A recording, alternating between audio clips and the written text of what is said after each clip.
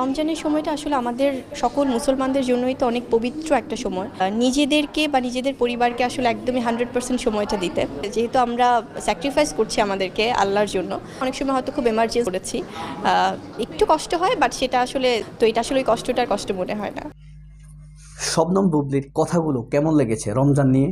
রমজান পবিত্র, পরিবারকে সময় দেওয়া উচিত এবং যেহেতু এটি স্যাক্রিফাইসের সেহেতু একটু কষ্ট হলেও শেষ পর্যন্ত আনন্দ পাওয়া যায়।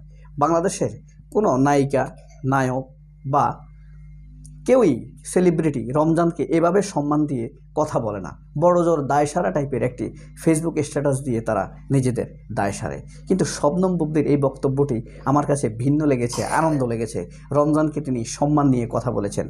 যেমন, একটু কষ্ট হলেও যেহেতু মাসটি স্যাক্রিফাইসের সেহেতু আমরা আনন্দের সাথে কাটিয়ে যেতে পারি।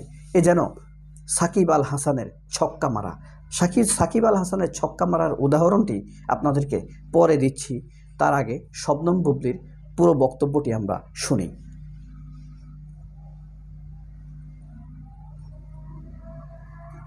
রমজানের সময়টা আসলে আমাদের সকল মুসলমানদের জন্যই তো অনেক পবিত্র একটা সময় এবং আমরা সবাই আসলে সেই জায়গা থেকে চাই যে নিজেদেরকে বা নিজেদের পরিবারকে আসলে একদমই হান্ড্রেড পার্সেন্ট সময়টা দিতে। আমি ব্যক্তিগতভাবে চেষ্টা করি যে রমজানের সময় শুটিংটা যতটা কম করা যায়। আছে না অনেক সময় হয়তো খুব এমার্জেন্সি করেছি। একটু কষ্ট হয় বাট সেটা আসলে যেহেতু আমরা স্যাক্রিফাইস করছি আমাদেরকে আল্লাহর জন্য। তো এটা আসলে কষ্টটার কষ্ট মনে রমজান একটি পবিত্র মাস। শুটিংয়ের সময় তিনি শুটিং একটু কম রাখেন রমজানের সময় এবং রোজা রেখেই তিনি শুটিং করেন। এবং আরেকটি কথা বলেছেন, সেটি হলো, একটু কষ্ট হলেও যেহেতু মাসটি স্যাক্রিফাইসের মাস সেহেতু আনন্দের সাথে কেটে যায়। এখানেই সাকিব আল হাসানের এক্সাম্পল দিতে চেয়েছিলাম। ধরেন, চৈত্র মাসের ভর দুপুরে আমরা যখন স্টেডিয়ামে খেলা দেখতে যাই, শেরেবাংলা স্টেডিয়াম বা ভাসানী স্টেডিয়াম অথবা মিরপুর স্টেডিয়াম যেখানেই খেলা দেখতে যাই, প্রবল রোদের মধ্যে কিন্তু আমরা বসে বসে খেলা দেখি। তখন যখন আমরা দেখি ব্যাটসম্যানরা সাকিব আল হাসানরা চার ছক্কা মারছেন। তখন কিন্তু ওই গরমের, তীব্র গরমের ঘামের সময়টি আনন্দের সাথে কেটে যায়। কিছু কিছু কষ্ট আনন্দের সাথে কেটে যায়। শব্দম বুবদির এই কথাটি, এই যে এই কথাটি, সেরকমই আনন্দের মনে হয়েছে যে কিছুটা কষ্ট হলেও মাসটি যেহেতু স্যাক্রিফাইসের সেহেতু আনন্দের সাথে সময়টি কেটে যায়। এই কথাটি, এই যে সম্মান বোধ রমজানের প্রতি।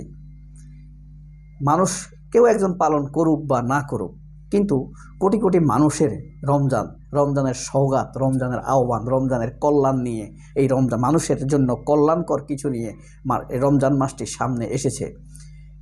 সংযম, আত্মসংযম, পরোপকার সব কিছু মিলে এই যে মানুষের অনুভূতি, অনুভূতির সাথে রমজানকে সম্মান দেওয়ানোর, দেওয়ার যে বক্তব্য, এগুলো সাধারণত বাংলাদেশের সেলিব্রিটিদের ক্ষেত্রে দেখা যায় না। কিন্তু শবনম বুবলি ব্যতিক্রম বলেছেন বলেই তার এটি নিয়ে আমি ভিডিও করেছি। কারণ অন্যদের মুখে আমি কখনোই রমজানকে সম্মান জানিয়ে এভাবে কথা বলতে শুনিনি। এমনকি নারী দিবসেও তিনি অসাধারণভাবে সুন্দর শব্দচয়নের মাধ্যমে তিনি কিছু বক্তব্য দিয়েছেন যা সবার কাছে ভালো লেগেছে, সুন্দর লেগেছে। আপনাদের কাছেও নিশ্চয়ই ভালো লেগেছে। আর কতটা ভালো লেগেছে তা কমেন্ট বক্সে অবশ্যই কমেন্ট করে জানাবেন। শবনম বুবলির এই যে সেন্সিটিভিটি দুঃখিত। এই যে ধর্মের প্রতি সম্মান, রমজানের প্রতি সম্মান এবং মানুষের অনুভূতির প্রতি সম্মান এবং ডেডিকেশন স্যাক্রিফাইসিং মেন্টালিটি রমজানের প্রতি স্যাক্রিফাইস করে অভিনয় কম করা এবং রমজান রেখেই, রোজা রেখেই তিনি অভিনয়ে যান, এই বিষয়গুলো আপনাদের কেমন লেগেছে তা কমেন্ট বক্সে অবশ্যই কমেন্ট করে জানাবেন। সবাই অনেক ভালো থাকবেন। আল্লাহ হাফেজ। আসসালামু আলাইকুম।